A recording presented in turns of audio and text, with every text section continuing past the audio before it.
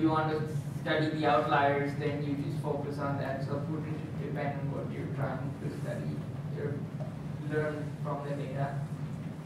Um, right, yeah, so, um, so that's right. So, um, if you can, if you're trying to study what is the mean here, and this, you have one data point, it's not here, maybe it's way out here. Um, and, and there weren't too many, you know, it's, these are unlikely the further they get out, and there's not a corresponding one the other way. It may actually alter your mean a little bit. Um, so if you fit by just taking the mean of your data as your sample mean, this may not be the, um, then removing this point may give you an actual, a better estimate of the true mean. Um, um, and, and, it, and you can do things where you actually fit the best Gaussian to the data. Um, and um, um, I'm not going to go over these techniques, but you can do that, and that will actually be more robust to this outlier. Even though you have an outlier, still if you chose the mean to be, you know, here, it's, it's, it's, it's going to give you a better fit. Um, and so there, there are ways of like smoothing your data with kernels I'll, I'll talk about in a, in a bit, which will help you um, think about these ways uh, more robustly.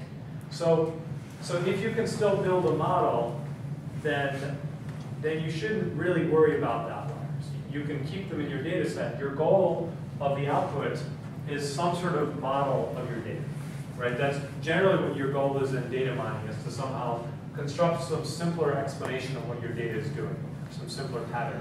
And if you can do this even with the outliers in there, then there's no real need to actually take them. Um, if your goal is to study the extreme points, then you need to know what is the center of reference to study those. So you don't want to take them out, you want to kind of save them and analyze them for later. But if you can build the model so you get a good notion of center, then it will allow you to, to study them. That's fine. So, so in general, picking this threshold of what is too large is large is not an easy problem. Um, you can sometimes, in some cases, you can kind of do some form of, of cross-validation where you use different thresholds and you have to leave some data out and see how well it predicts it um, based on your model if you kept the data in or out and learn over the one parameter using cross-validation. That would be one way to do this. And then a, a less rigorous way, but might work better for, for, um, for something like clustering, is to actually just use this, um, um, just use this elbow technique, where you look at all these residuals, you plot them, and as you get further and further out, there tends to be less of them.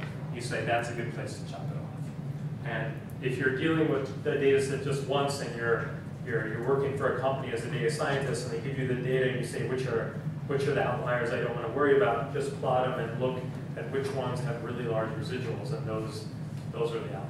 So um, if you can plot the residuals, this often will, will tell you a lot.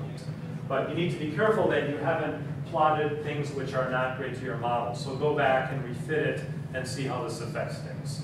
And maybe iterate a few times, but be careful about these kind of different situations that you could get stuck with iteration or, you know, there are kind of pay attention to the problems that might go wrong and kind of think through these things for your situation.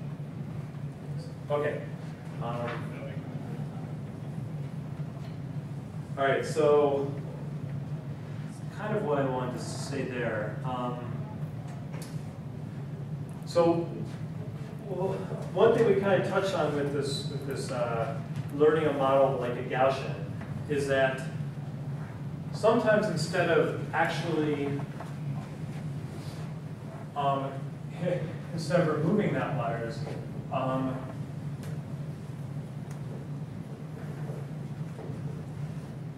um, you can just downweight the outliers. You can say, when I'm building an average of my data sets, the points which are far away are weighted less than that average. The average is you're adding up all the locations and you're dividing by the number. But if they had a, had a weight, um, so you could say a weighted um, um, um, if you had a weighted average where you had a, um, some weight function, that goes from every point to some positive number, then what you do is you say that um, p bar with the weight is, is going to be this, the sum over um, all the points times the weight of the point um, divided by all the points and just the weights. Right? So now if the weight was the same for all of them, like the weight is one, then this is just the average of the points because this is then just dividing by the number of points. But if you have a weight, then you can do this weighted average. So then you say, you can look at the likelihood of, the, of all these points based on kind of, one way of thinking about this is the height of this point based on the Gaussian you fit. So you first fit, fit this, uh, fit the best Gaussian, and there might be outliers, right? And then you say, um, so you, you, do this by finding the mean and the standard deviation, and you say the likelihood is the height of this point here, and then you, you give assign the point a weight based on the height of the Gaussian here, and then you can recompute the mean like this. Use this again and measure the standard deviation from this mean, the standard difference from this mean. Um, and this mean may have been slightly shifted because you've downweighted some outlier. Right, and so if, if you do this, you can kind of um, uh, factor out, you can kind of weight down outliers instead of completely throwing them away. If you're throwing them away, you're essentially setting the weight to zero and keeping all the other points which are not, you know, even if they're close to some threshold, you're still setting that, keeping that weight at one, is what you're doing by removing. If you just downweight them in a smooth way, there's not some kind of a stringent cutoff, where on one side they get their full weight, on the other side they get zero, and this way it's more gradual. And this will lead to a lot of less artifacts based on where you choose the cutoff, whether it's exactly three standard deviations or maybe it's 3.1 standard deviations. Those should, in principle, give you very similar answers. But if there are a bunch of points right in between there, between 3 and 3.1 standard deviations, the difference in the answers you get is going to be pretty drastic if you just throw them away. But if you weight them down based on some property, then it's going to be a very, it doesn't really matter what the threshold is. In fact, you, had, you didn't have to pick a threshold. You just did this in a smooth way. And so if you can think of a way of downweighting the points and then compute your structure using these weights, you can also factor these into like a least squares calculation, these weights in a similar way. Um, then this is going to have less kind of boundary effects based on where you pick threshold. So this may be a smarter way of dealing with them than trying to actually take the outliers out. All right. Um, oh, okay, so um, so all of these approaches needed needed some sort of parameter. Okay, when I chose to when I chose to throw away outliers past a certain threshold, this threshold was some parameter I had to choose, and there wasn't and I mentioned there wasn't a great way of doing this. You could use the elbow technique or maybe cross-validation, um, but th these are not great, always great for choosing this parameter.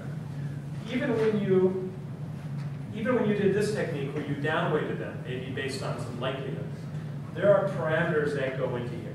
You had to somehow choose the standard deviation of your data um, in order to, do this downweight. Now you can use the standard deviation, but essentially you're choosing some model that this is a Gaussian. Maybe you didn't want it to be a Gaussian, you want it to be something else. There was some parameter you had to, had to choose. And so some people have tried to get rid of some of these, um, some of these parameters in some sense, and they've used um, things based on density. And these don't always completely get rid of the parameter. Some of these look like this weighting approach where they just kind of push the parameter into another decision which is less important, right? By modeling as a Gaussian and using the data standard deviation, I kind of didn't really choose a parameter, um, or the choice of Gaussian maybe was a pretty safe choice for me, right? So, so this is, this, uh, this downweighting is kind of the, kind of the one form of these, of these, these density-based approaches. Um, there Um, there are other ways um, which are kind of along this line. So, so one is called um, the um, reversed um, nearest um, neighbor. Okay, so, um, so how's this work? So has anyone heard of the reverse nearest neighbor? Okay, so uh, what you do for um, um, for each um, point in P, what you do is you find find Q, which is equal to min of, of um, P prime in P not equal to P. So you can't pick the point itself of the distance between P and P prime. Okay, so, this, so th this is the nearest neighbor, Q is the nearest neighbor of P, of, of not including P itself. Okay, and then you find find um, R, which is going to be min of P prime in P, not counting Q. Um, so this is Q uh, P prime. Right, so, so this is, Q is the nearest neighbor of P, R is the nearest neighbor of Q. Okay? Now, um, then what you do is you look at the distance from P to Q, and you compare this to the distance from Q to R. Now this distance is never larger than this distance, right? Do you see why that's true?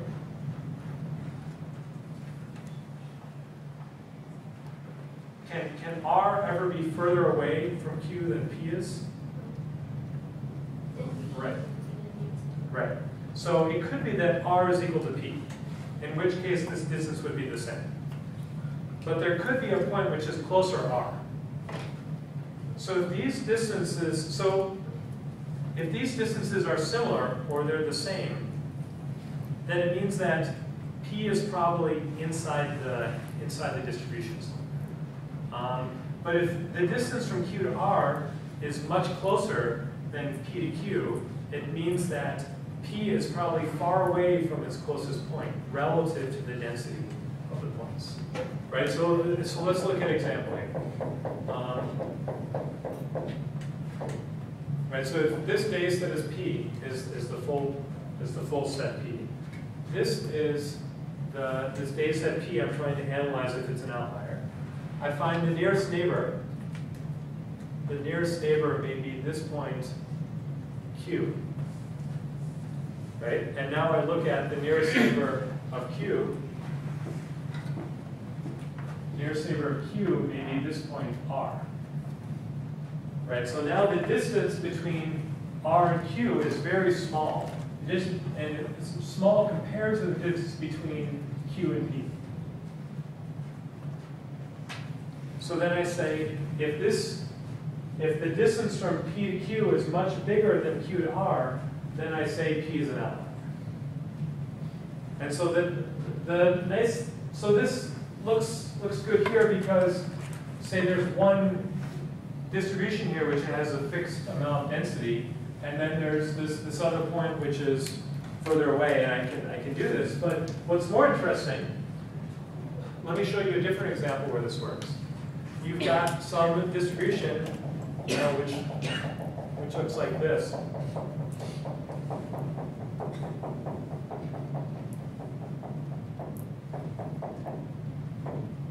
Okay?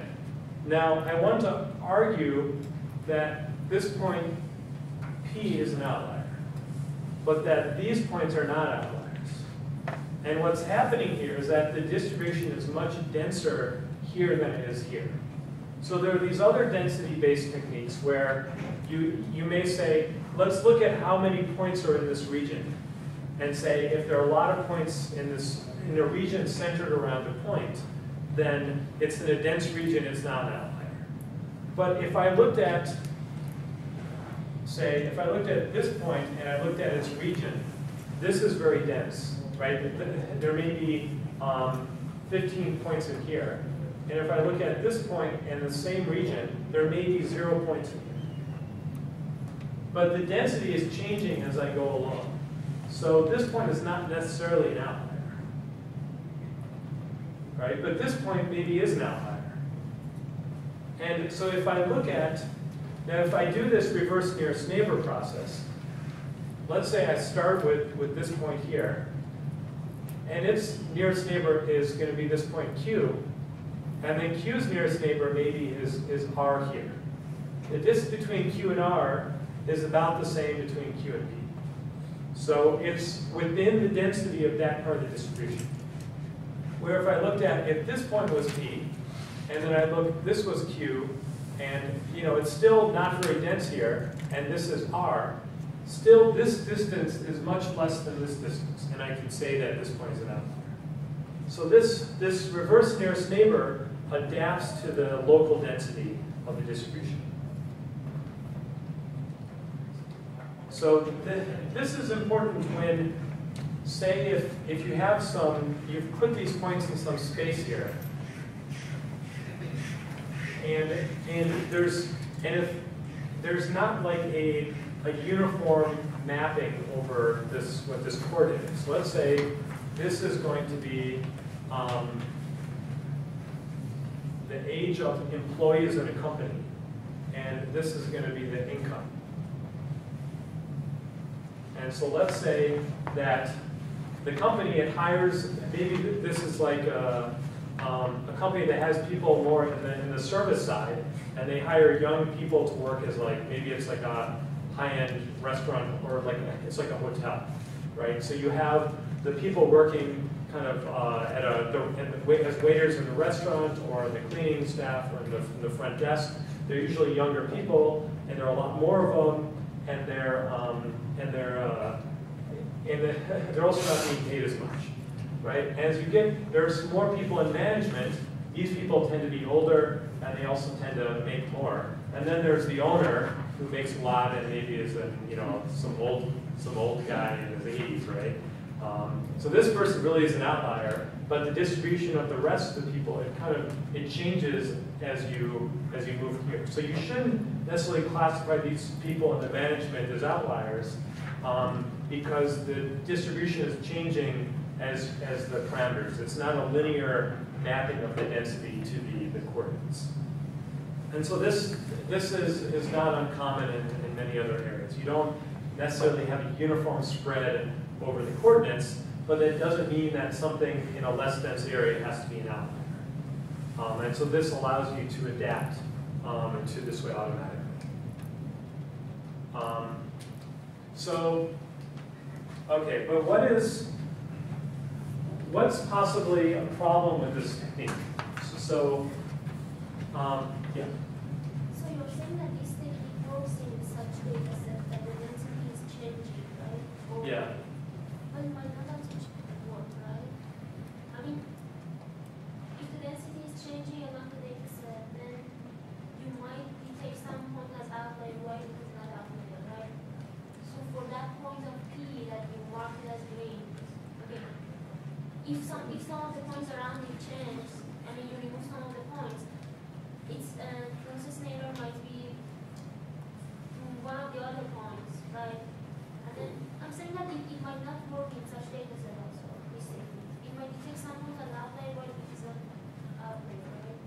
So it might, um, right, so, so, so so I didn't quite understand your example. So th there is a case where you can detect something as an outlier when it shouldn't be. And, but I didn't quite understand your explanation of it. Maybe can you, do you want to restate it or? No, I'm saying that if, if uh, some of the points of this data set that you run here, okay, if the, some of the points changes, okay, you remove some of the points, then the closest neighbor to that point that you mark as green will change. Right, yeah, so if I, if I took out this point, Yeah, then the nearest neighbor to this point may now be here. yes, Right. okay. And, and based on that, that point, that green point might, might be detected as outlier, right? Um, it, it might, but I, I may have to remove a lot of points before that happens. There's some, you know, if it's off by a factor two, If this is off by a factor two or three, I'm probably not gonna say it's an outlier. Um, but if it's off by a factor ten, I'm prob, I probably am. So by removing just a couple points, you're probably not going to change this dramatically between a factor two and a factor ten. Right? This may be a factor ten difference. But if I remove this point, I've increased the distance to the nearest neighbor by, um, by a factor one point five, right? It used to be a distance, say this was seven, now this is a distance ten, right? And now its nearest neighbor maybe is here and is only a distance eight. So, so it's still pretty robust because if I remove this point, then the nearest neighbor changes, but its nearest neighbor may also change. So, so it kind of, it may take that into account. So that, there's another problem which is more, kind of more serious. It breaks with two close outliers. Right, good. So let's say instead of this point up here, it's, uh, instead of just being one old guy, it's an old guy and his wife. And, and they, and they both co it and they make the same amount and they're the same age. Right, so they're right on top of each other. So their nearest neighbor, ours, you know, is the same point, it's back to itself. Right, so this distance, these are the same distances to each other. So, so I haven't, I haven't filtered out these outliers. Okay, so, um, so how do I fix this? Pick a third point. You can pick a third point. Well, what if there are like, Yeah, there's n by two there, there, there are three children of, or like, like in the case of Walmart, right? There are like five heirs of the Walmart throne, right? And they all, they all own about the same amount of the company and they're all about the same age. Right, so, so, so what's special about three, right? Right. Is it, is it, yeah, Build a convex hull around it for the first set, then build another convex hull for the remaining points. If the distribution is such that the difference between the two convex hull edges is a lot, that means that there's no density here. That is an outlier. You keep on shrinking this till the distance is of some factor. Okay, uh, good. I'll, I'll, I'll, I'll, explain this in more detail in a second, and this is an interesting idea. Uh, and, but I'll first, so the choice of, but I'll, I'll, that's slightly different than what I wanted to finish this topic first. So the choice of three, you know, is fine. In, in general, you could say, instead of choosing the minimum distance, find the k closest neighbor for some parameter k. Right, so find the distance such that there are k minus one points which are closer. And then compare that from, from, say, q was the point with k minus one points closer, and then from q, find the point which there are k minus one points closer. Right, so the k nearest neighbor, and compare these instead. And by choosing some larger k instead of one, it's going to be more robust if k is large enough. Right, if k is too large, if k is n, then you're picking the furthest point and this is not very useful, right? But you can, you can answer k nearest neighbor queries almost as fast as nearest neighbor queries. Well, if, if there's enough outliers in a big bunch over there, like the three or doesn't work, four Right. or five more, then you don't wanna remove those outliers.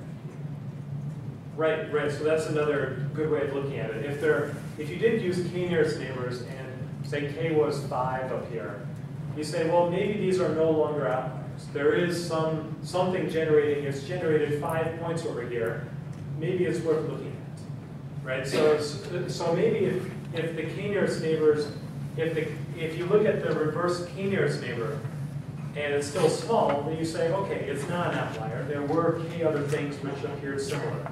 So it's, uh, then, then if you choose the right parameter k, if something is far, it is an outlier. Not, then there is something generating this. I don't want to throw away this data completely. Yeah, so that's, that's a good point. Um, you still have to choose the right value k, but you can kind of see how this is now less, less, um, less sensitive as a parameter. You chose k large enough, um, then something must, then if the, if the distance to the reverse nearest neighbor is small, is, is similar to the, the original distance, then there probably was something which generated this phenomenon. And if there wasn't, then it's a small enough set of data which were off in this, off in this way, in this way by themselves. Um, so it's kind of less sensitive, and you can choose any k in this area. you still need to figure out what is the right K to choose, but it's probably less, um, less sensitive to your choice. And you could probably bear this out with some form of cross-validation.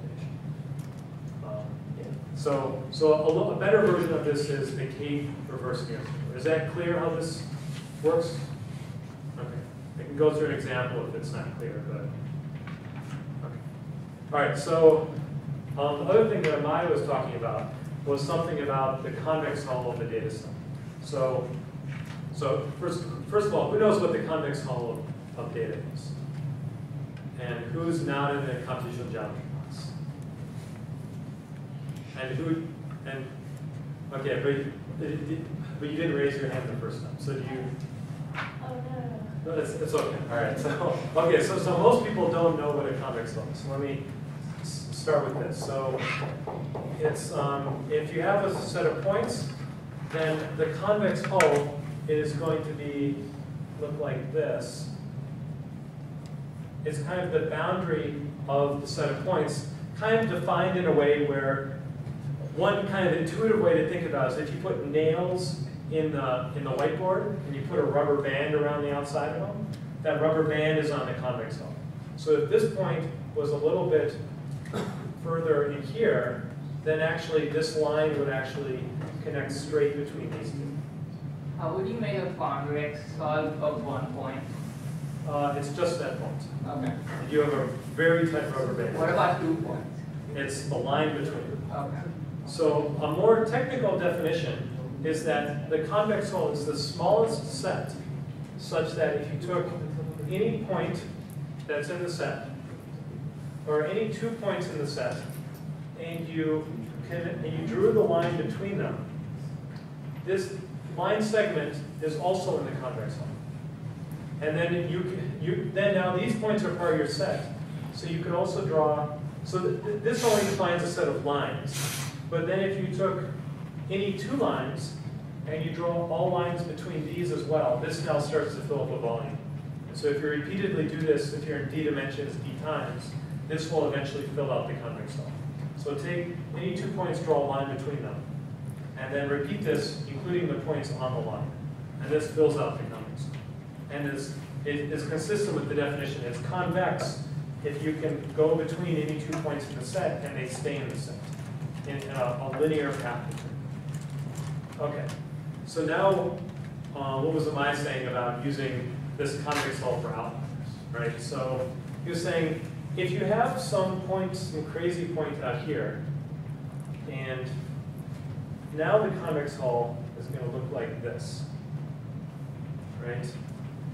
Now you can think of this point, think of like this leave one out on cross-validation technique. You took this point out, the convex hull, the area of it is going to be much smaller than if, if, you, if you looked at the area of the convex hull with this point in. So if you look at that ratio of taking the point out versus not taking it out, and the ratio is about the same, then it's, it's, it's not an, um, then it's not an outlier.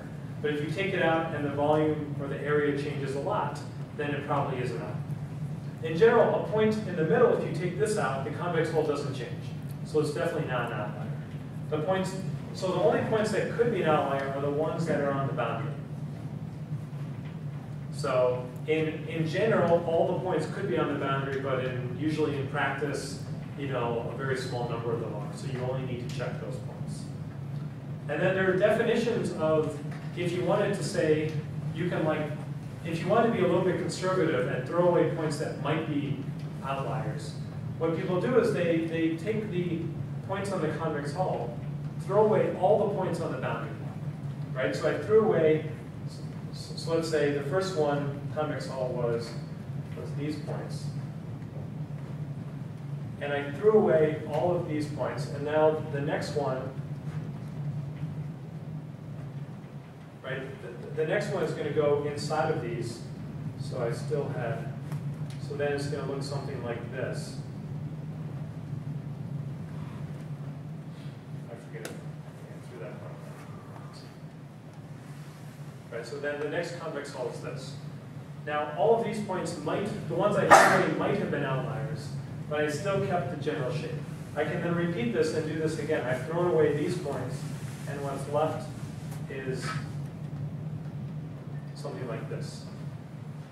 And so, if you look at when a point gets thrown away, that's known as the convex hull, uh, the convex hull peeling depth. Or the depth of a point here is three. You would need to peel away three convex hulls to expose this point, where this one is two, this one would be one, this is zero. So the deeper a point is, the less likely it is to be an outlier. And so you could be conservative and throw away all the, all the convex hull points, um, and then just keep the central data and run your analysis on that. And you may have thrown away some inliers, but you probably threw away all the outliers.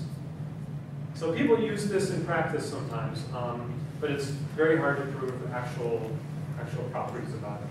But in, in general, it, it works, works pretty well. Uh, And you can actually, you can, in the plane, you can compute n log n at the same time as sorting. Uh, You can compute a convex hull at the same time as sorting, n log n.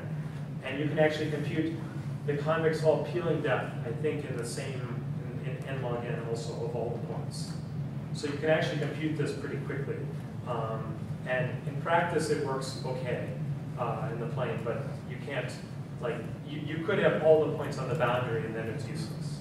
So in that case, it's not very meaningful, but in general, it might be useful. Um,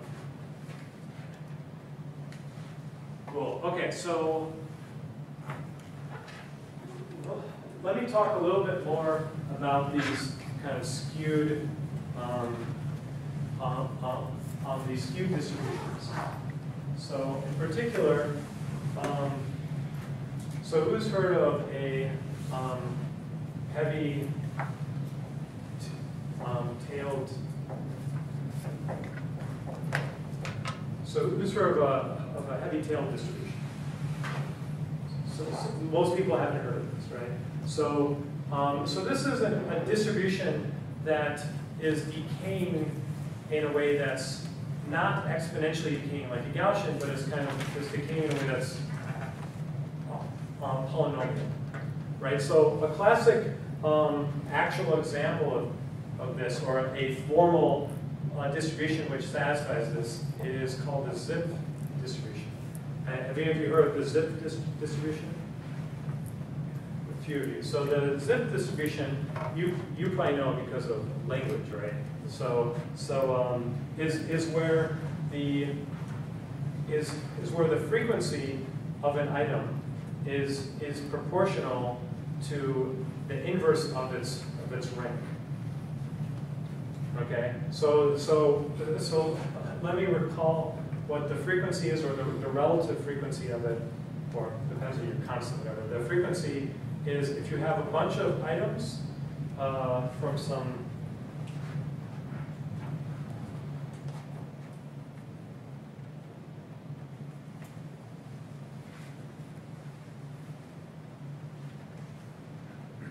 Right, so the relative frequency is if you have a bunch of a set x, and each of the items, so each of x